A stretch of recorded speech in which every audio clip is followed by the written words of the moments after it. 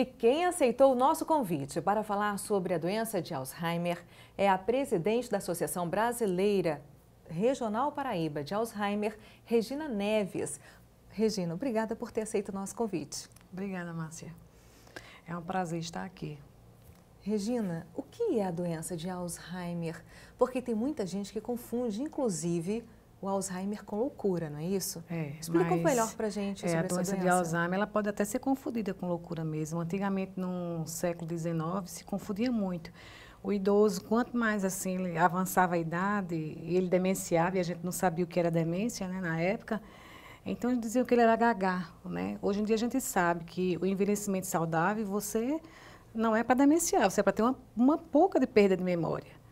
Mas a doença de Alzheimer em si é uma doença que abrange a, as dificuldades na parte intelectual da pessoa, né, na parte intelectiva, ou seja, problemas de memória, de atenção, de concentração, distúrbios comportamentais, esse que você falou, né, que é parecido com a loucura, e dificuldade nas atividades da vida diária, no seu trabalho, de esquecimento, ele vai aumentando.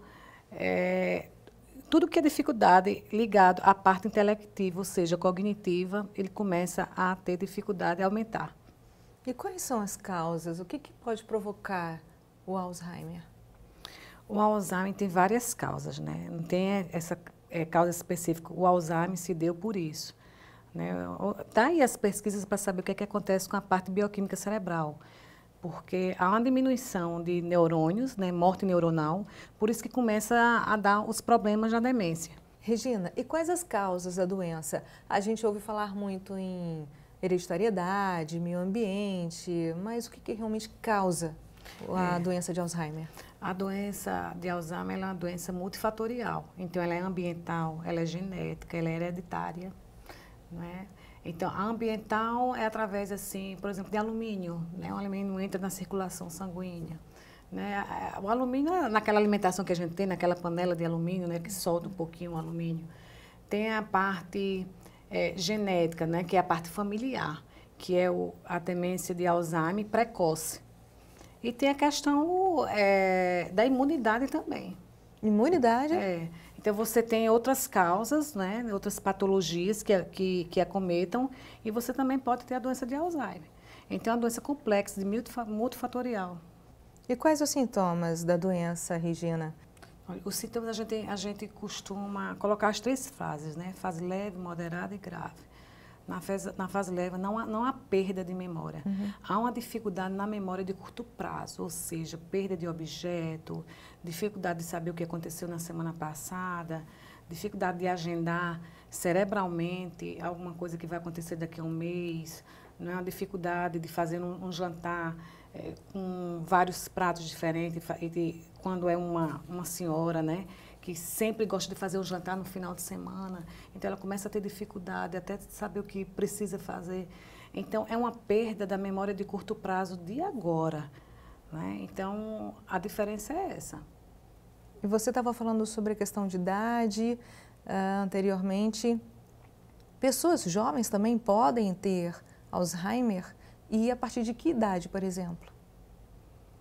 Até 30 anos. Tem pessoas com 30 anos que já apareceram com a doença de Alzheimer, 40, 45 anos. É uma doença agressiva, né? A, é mais é, difícil de tratar? de 60 anos, ela tem uma dificuldade, o tratamento é mais difícil. Até a parte cognitiva, que a gente trabalha como estimulação cerebral, é, é, eles têm muita dificuldade. Então, ela é mais agressiva. Atinge mais homens ou mulheres? Atinge mais mulheres que tem mais mulheres, né? Mas não tem essa diferença, não. É por isso, é porque existe mais mulheres. Nossa, curioso isso, né?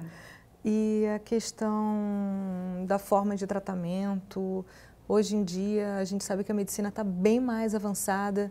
Quais as formas de tratamento dessa doença? É, Existem três tipos de tratamento. Então, o tratamento medicamentoso e o não medicamentoso. Uhum. O medicamentoso, dado pelo Ministério da Saúde, são três medicações. Né? O não medicamentoso é estimulação cerebral, ou seja, reabilitação cognitiva. Estimulação ambiental e estimulação domiciliar, ou seja, deixar aquele paciente mais independente possível. Não ficar, olha, você errou, você não está fazendo direito, dificulta muito a independência do, do paciente. Então, ao invés de a gente estar tá dificultando, a gente tem que ajudar aquele paciente. Regina, esse assunto com certeza está sendo muito esclarecedor, mas agora a gente vai dar uma pequena paradinha para o intervalo, mas o Viva Saúde volta já já. Continue ligado.